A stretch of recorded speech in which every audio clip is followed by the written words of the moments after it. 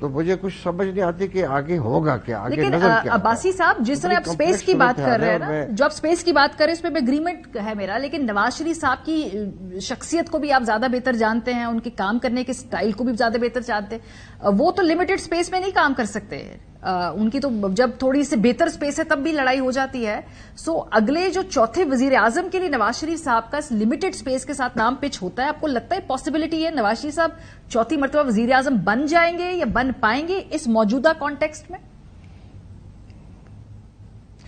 देखिए ये कोई इस इस डिस्कशन में जाए बगैर के क्या वो बन सकते हैं या अगर बन जाएँगे तो क्या कितनी देर चलेंगे? हम्म। और हिस्टोरिकली जो उनका एक मज़बूत मौकफ रहा है इस्टेब्लिशमेंट के बारे में वो क्या कंप्रोमाइज कर, करेंगे या कर चुके हैं हम्म। ये तो आने वाला वक्त बताएगा लेकिन एक बात मैं बड़े आपको इतमान से कह सकता हूँ बड़े कॉन्फिडेंस से कहता हूँ कि जो भी फ्यूचर गवर्नमेंट बनती है इन हालात में कि जब आपको इलेक्शन जो है वो बहुत फेयर होते हुए नज़र ना आए हम्म।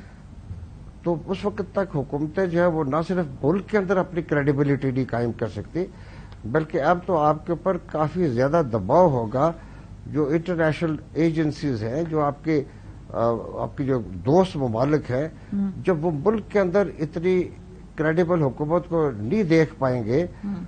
तो वो भी बड़ा सोचेंगे तो वो सोचेंगे तो जब पाकिस्तान तो डे टू डे बेसिस पे चल रहा है आज भी डे टू डे बेसिस पे चल रहा है आइंदा भी अगर इसी बुनियाद पर हमें चलाना तो इसमें हमारा मुस्तकबिल नहीं है हम्म। क्योंकि अब तो पाकिस्तान को एक ऐसे प्लान की ज़रूरत है जो इसको तमाम मुश्किल से निकाल के लाए सही और इसकी फंक्शनिंग जो है वो अगर आप रवायती तरीके से करेंगे हम्म। और उसी टीम से करेंगे जो कि आपकी माजी में टीम रही है तो मैं नहीं समझता कि आज से पाँच साल पहले का जो पाकिस्तान है आज वो पाकिस्तान बिल्कुल यकसर मुख्तलिफ़ है। हम्म। अब तो आपके पास सांस लेने की भी कुत नहीं है सांस लेने की गुंजाइश नहीं है। ठीक है। तो इन हालात में कुछ टीम में नई बातें भी तो हैं दो टीमें हैं। है। सर आपको मालूम है एक तो शबाज साहब की भी टीम है एक नवाज़ साहब की भी टीम है अब मरियम नवाज़ साहिबा भी हैं उनकी भी टीम के लोग। तो टीम तो काफ़ी ज़्यादा वो रीमिक्स होकर आ रही है ना? क्योंकि मरियम साहिबा भी अब आ गई हैं उन्होंने भी अमूर संभाल ली है बहुत सारे पार्टी के मामला के।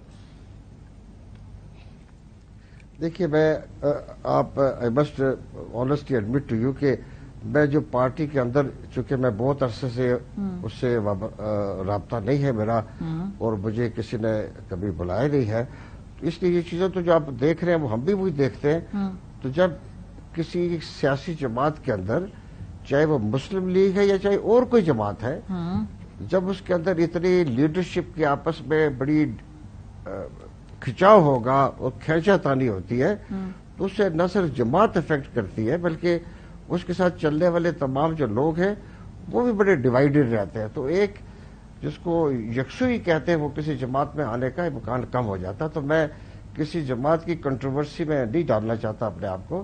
और मैं आपसे ये कहूँगा कि ये बड़ी ट्रेजिडी होगी कि इस तरह की एक बड़ी जमात जो है वो अपने इंतज़ार का शिकार हो हम्म। उसकी लीडरशिप के अपने क्राइसिस हैं जो नज़र भी आते हैं जो क्रैक्स नज़र आते हैं ये बड़े हम्म। तकलीफ़ दे भी होंगे और ये मुल्क के लिए नुकसानदेह भी होते हैं। क्योंकि I believe very strongly in this के जो पोलिटिकल पार्टीज़ है हम्म।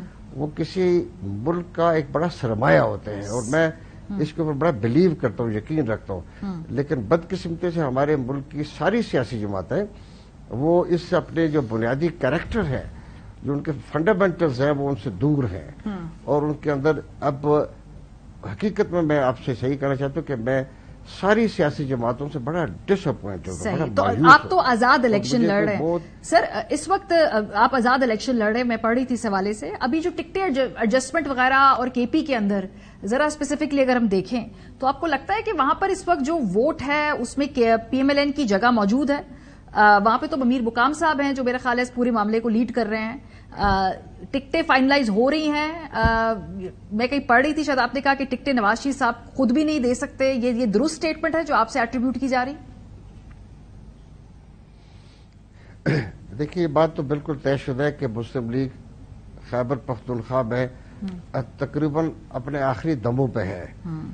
क्योंकि पिछले चंद सालों में जो क्यादत वहाँ रही है वो इतनी खुद गर्जी से उसने काम किया कि उसने जमात को पसे पुश डाल दिया और जमात की क्यादत को अपने माली मफादात के लिए इस्तेमाल किया और ये कोई ढकी छुपी बात नहीं है।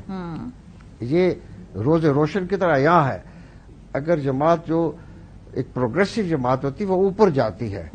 लेकिन जब उसकी डी जनरेशन हो और उसके अंदर तनजुल आ जाए तो वो फिर नीचे गिरती है। सही। तो आज मैं आपको बिल्कुल इतमान से कह सकता हूँ मुझे अफसोस है ये बात कहते हुए मुझे ये अच्छी बात नहीं लग रही लेकिन मुस्लिम लीग तकरीबन अपने आखिरी दमों पर है। और अगर आप देख लेंगे चंद थोड़े अरसों में जो भी टिकट के अनाउंसमेंट्स होंगे